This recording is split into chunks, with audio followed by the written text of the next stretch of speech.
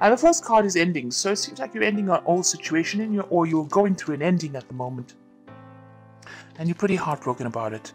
Um, you know, you're crying quite a bit. It was something that you thought was really beautiful, but it seems to have all, you know, ended up in tears, and you know, you're very, very upset about it. And right now, you're really trying to find yourself. You've got this confusion card. You really don't know what to do and where to go next. Uh, you know, it's it's like you know you're in this space where suddenly uh, the rug has been pulled out from under your feet, and you're really, really confused about what to do. Now, in the past, uh, you've got the truth. So some kind of truth came to light. Uh, there might have been some, you know, you could have gone through a divorce or some kind of separation. There seems to have been some money that has come to you there with the wealth card, but there's also been a truth that has been revealed, and you you know, this breakup may not have happened right now, it may not have been a completely recent breakup, but it's certainly, you know, you're certainly still healing from it, and you're still crying over it, and you still don't know what to do and how to go into the future. Now, you've got the scandal card over here, so there was some kind of news that came in for you or will be coming in. You're going to hear a little bit more about the situation that you've gone through, so maybe something coming to light about this person that you've broken up with or you've ended a relationship with and it's not very very good news. So whatever you're going to hear uh, might be very very upsetting. So prepare yourself for that. Whatever this news is it's not the best of news that you want to hear. Uh, it could be through some gossip that you hear it or by chance that you get this and it might be a bit upsetting for you to hear. So those are the energies for that week. Now at the bottom of the deck you've got the nine of coins the five of coins the two of swords the hangman so, you know, you can see with that Three of Cups over there, feeling very excluded. So, it looks like you were in some kind of situation that was very long term. You were pretty much part of the group, and now it seems like you've been excluded from it. So this could have been a breakup where you shared friends together or shared a life together, and now you know you've been let go of it. And you know during the, the period where the holidays come along, you suddenly realize you you know you feel lonely because you are not doing the same things you used to do. So you're feeling a little bit excluded from from everything right now. It's almost like you're watching into things but not being not allowed to take part. You can see this painter is uh, watching these women having fun there but not actually in the picture itself. So you, are feeling left out a little bit.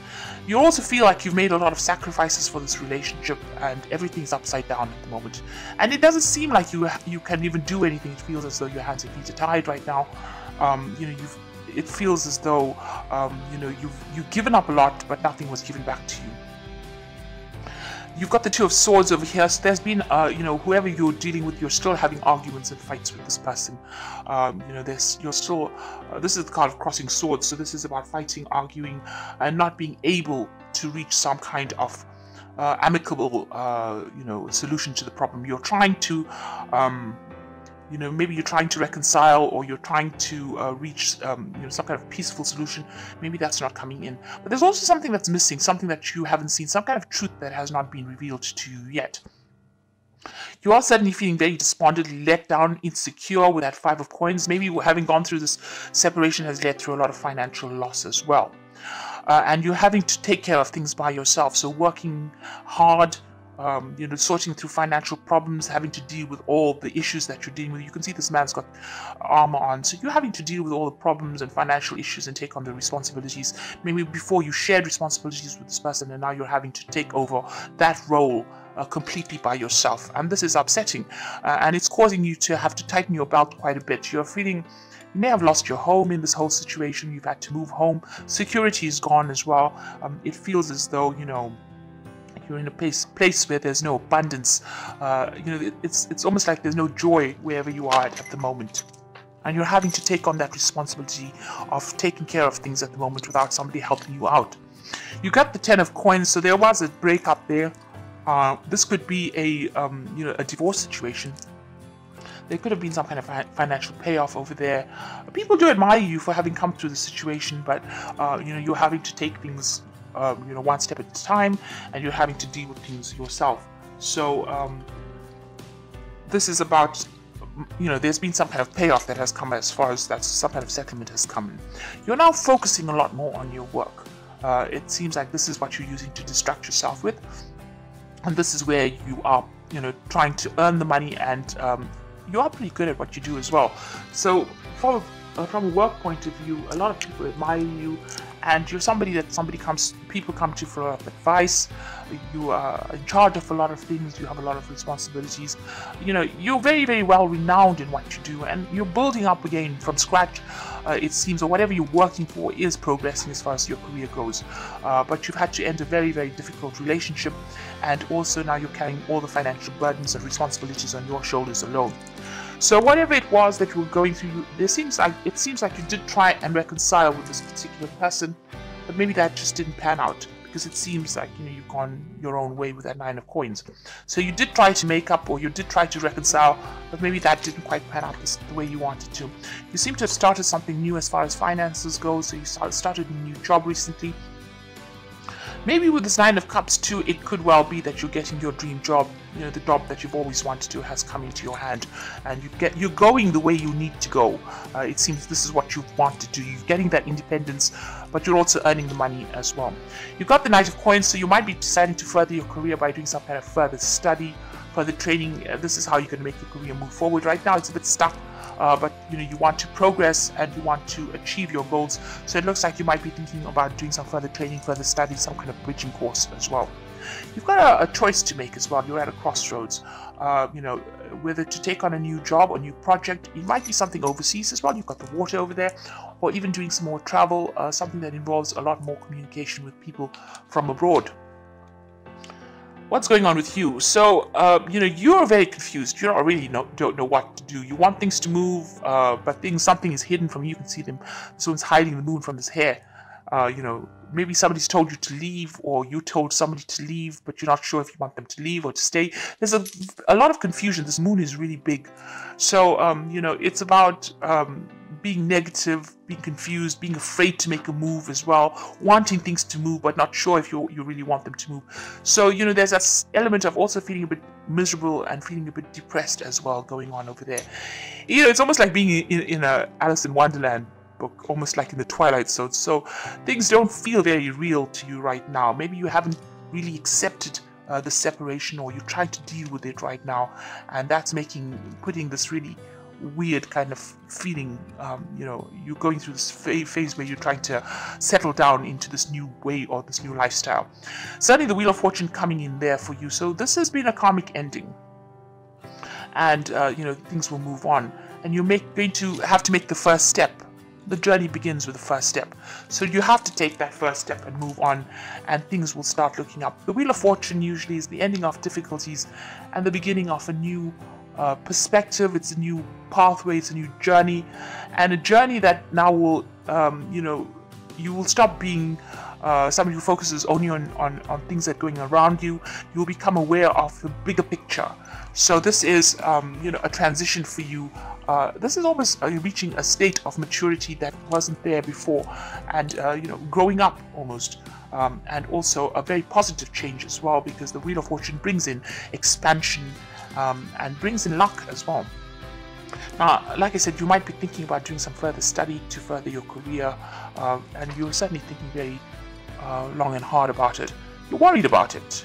You're hoping that if you do this new course or this new study, it's going to bring the coin in. So your focus is on money and you are worried about it since you are carrying a lot of financial burdens and responsibilities. It seems like you may want to even change jobs. You've got the seven coins over here, so putting out your application forms, so you're putting out your CV, trying to attract the right job. It seems like you're considering a whole bunch of other options, financial options, in order order for you to progress and bring in more money. You've got the Knight King of Swords over here. There's something legal that needs to still be sorted out. Some decision needs to be made. Now, this could be a legal decision, but this could be also you coming to a decision yourself. Finally saying, well, this is what I'm going to do, and this is how I'm going to do it. Uh, with that Seven of Coins, there is also that element of confusion. I've got all these options available to me, and I really don't know which one to pick. But it looks like you're going to be picking one or making a decision. And with that, you get that sword in your hand so you can cut out the past. Uh, you know, this is the executioner's block over here. So this is almost like now that you made a decision, you um, physically cut this person or cut the situation out of your life and move on. If this is not the case, then this is a legal decision that will be made, or you're waiting for this decision, and you, uh, you know, it seems like it's going to come to light. And if this is a legal decision, there's victory on your part. So, you know, you might be waiting for, uh, you know, um, a conclusion to um, something financial and whatever happens, there will be a financial success uh, in it because he's riding the bull. So it looks like you know whatever all these problems are that you've been facing, the news comes in that you are the winner, you are successful. Whatever you've been going after, you will get. So uh, if this is a legal decision, it's going to go in your favor, and there's definitely victory over there. But it also seems like if this is not a legal decision, you make a decision about what job you want, you will get it. So if you're going after something where there's a lot of people competing for it, it looks like you are going to be the one that gets the job. Um, you know, you blow away the competition. You've been putting out your CV over there. Even here, it's expecting money, a legal decision may, being made, and money coming in. If it's not a legal decision that you're going through, then it's definitely whatever job you're applying for, for more money, you're definitely going to be the one that gets that job. So either way, you're going to be, uh, your financial status is definitely going to improve. This new job might involve, uh, you know, travel overseas as well, uh, or more freedom on your part. Make sure you're well planned up though, it's always good to be well planned up. So I'm just going to draw some cards from the um, Wolf Tarot, and um, you can see this outcome. Even though you are experiencing many obstacles, you will survive any and all conditions Many lessons learned and the results of your experience are presenting rewards. So it looks like you're, you're taking that leap. There's a new job coming up. It could be an overseas job because this wolf's jumping over water over there. But there's certainly a, re relocation, something starting afresh for you up there. And it's a very positive outcome. You've got that uh, you know, the Wheel of Fortune ruled by um, Jupiter, and Jupiter is the planet of expansion. So whatever you're doing, you're expanding your horizons. You can see this fox is going out into the world. Um, so you've got lessons over here. Many lessons will be forced upon you at this time. No, it is only a cycle that will end. So look at all legal papers. A time for growth. You might decide to further your education. So there's education that's coming in over here. If you're doing anything legal, make sure you're reading all the fine print as well. If you're signing new contracts, read all the fine print. So this could be, together with this outcome card and the lesson card, it looks like you're going to be starting something brand new and you're going to be starting a new cycle and you might be starting a new job and you might be signing new contracts as well. You've got the judgment card over here, finding yourself being judged by others. Uh, it could indicate courts, lawyers, lawsuits, or um, illusions. So it shows here that, you know, with the King of Swords, um, you know, making, waiting for some kind of legal decision that involves money and you being victorious. And with this uh, judgment card, it also looks like you're waiting for some kind of legal decision um, that you're going to be involved with. Now, the person that you're dealing with from a legal point of view, um, you know, where you're uh, trying to maybe possibly get money off them might be a bit upset about the whole thing, so not wise to approach them but it looks like a, legal decision is going to be made and it is going to be in your favor. So if you're waiting for, for money to come out from this or waiting for some kind of payout, uh, it seems like it's going to go in your favor. So don't stress about it. Uh, and you're going to start something brand new. This new year is going to bring you a new uh, way of life. It's going to bring you uh, a lot more happiness and it seems like a lot more freedom as well.